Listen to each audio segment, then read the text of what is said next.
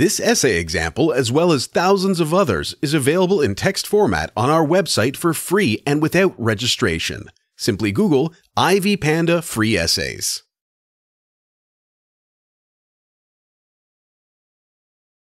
Introduction Nowadays, domestic violence happens to be a universal problem that is addressed worldwide. The case Break the Silence describes a campaign that was organized in the early 2000s to tackle the problem in one of the United States. The case gives an insight into the history, overview, planning, accomplishment, and evaluation of the campaign, as well as describes its strategies and outcomes. Case Report This is a complex campaign that aims to increase domestic violence awareness. It takes into account cultural and linguistic aspects. To reach the target audience, it uses different strategies, namely non commercial sustained publicity and grassroots and business partnerships. It started in October 2002. The campaign in question aimed to instruct victims of domestic violence on how to cope with the problem and where to address it to get assistance. The National Domestic Violence Hotline, NDVH, was used. The information about it was provided on different kinds of materials which had been prepared for the campaign. People who called NDVH were explained what to do. Therefore, the hotline was aimed at rescuing them from a violent situation at home. To make the target audience aware of the campaign, 4 million discreet hotline cards were issued in the first two years. Apart from that, the information in English and Spanish was available in churches and the media. A special guide for family and friends was created, and the Domestic Violence Awareness Month event took place. The campaign used five strategies. The first is to prevent people from considering the situation as shameful. The second one is to ensure victims that there was somebody eager to give them a hand. The third is to make everyone know that domestic violence is terrible. The fourth is to supply information on where to address for assistance. The final one is to make more people aware by involving them personally. In the first 16 months, the campaign resulted in a substantial increase in calls to the hotline. More people found the issue crucial and could give three definitions of domestic violence. Besides, it attracted more than 40 local organizations, with educational institutions among them, to distribute the information about the campaign. Moreover, Verizon Wireless and the Texas Broadcasting Association got involved as business partners. The campaign influences society as it appeals to it with a message to prevent domestic violence from happening. The action can be considered as right because no one has claimed to have been harmed by it due to its social assistance orientation. From this case, it is possible to learn how to organize a non commercial sustained campaign with grassroots organizations and business partners involved in its accomplishment. Research The objective of the research was to investigate the issue of domestic violence in Texas. The first step was to create 34 focus groups with African Americans, Anglos, and Hispanics in them. Then, 1,200 citizens of Texas were interviewed by phone.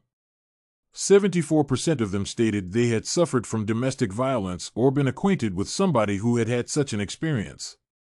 31% admitted that the problem in their family was very serious. 84% were sure they could change the situation themselves. Some people accepted to have addressed for help to somebody they knew, but in many cases, nobody could imagine how to assist in the matter. Besides, the majority of the abused people could not break up with their aggressive partners, did not realize how violence affects their kids' conduct, and found violence a usual routine. The following reasons for keeping silent in case of domestic violence were discovered. First, abused people happened to be isolated. Second, they were afraid of their aggressor. So, they did not go to the police because they were scared to get abused again before the police could help them. Third, interrogated victims of domestic violence tended to feel guilty for what had happened to them. Finally, in many cases, they did not know what was supposed to be done on their part. Apart from the above said, since Texas is a multinational state, the research revealed some critical cultural issues. Hence, the research resulted in the necessity to enlighten the state citizens on the issue and to provide qualified anonymous assistance to victims. Questions The pre campaign research revealed that people suffering from domestic violence were unlikely to report until something horrible happened. This can be considered as the result of victims' isolation and shame coupled with their feeling guilty for the situation. Therefore, the campaign was supposed to find ways to address victims effectively so that they broke the silence and make the call. If I was expected to develop a similar campaign, I would try to arrange for some victims to be spokespeople. First, they were involved in the situation and know how it is to suffer from domestic violence. Second, they can share their experience on how to manage to tackle the problem. Finally, they might serve as a positive example of how to arrive at a positive outcome. The campaign slogan is an effective message because it addresses victims directly. It lets them know that they are not alone and that people are willing to listen to their matters and ready to give them a hand in helping them out of the situation. So, victims can just make a call to break the silence. Some other slogans might be Say No to Domestic Violence or Home WH Islands. We will save you. The main strengths of the campaign's private communication strategies are that it reaches the target audience effectively but preserves anonymity, which is crucial. Messages were located in places where a victim could get them easily. However, for the aggressor, it is kept secret. Other strategies of this kind that can be used are to involve maternity welfare clinics to educate women on how to deal with domestic violence. Besides, it might be of use in installing special information counters or even cabins in supermarkets. The question is expected to be skipped.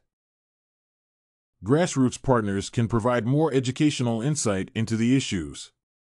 For example, it might be useful to elaborate on a special course to study at schools, colleges, and universities that aims to instruct everyone on what to do if they come across domestic violence. Besides, grassroots companies can participate in the organization of special events and host them on their premises. Apart from the distribution of materials, business partners could participate in the organization of special events, like walks and marathons. It might be reasonable to show some real life stories of domestic violence in the news from time to time, with the presenter giving information on how to tackle the problem. In this case, non commercial sustained advertising manages to achieve the goals of the campaign as it reaches the target audience successfully. Conclusion In conclusion, it is necessary to point out that, unfortunately, children are not concerned about the campaign. Despite this, it was successful due to its great organization and strategies. However, the problem is still topical worldwide. Therefore, the experience which was obtained from this campaign can be applied to other campaigns of this kind. Did you like this Break the Silence domestic violence case sample?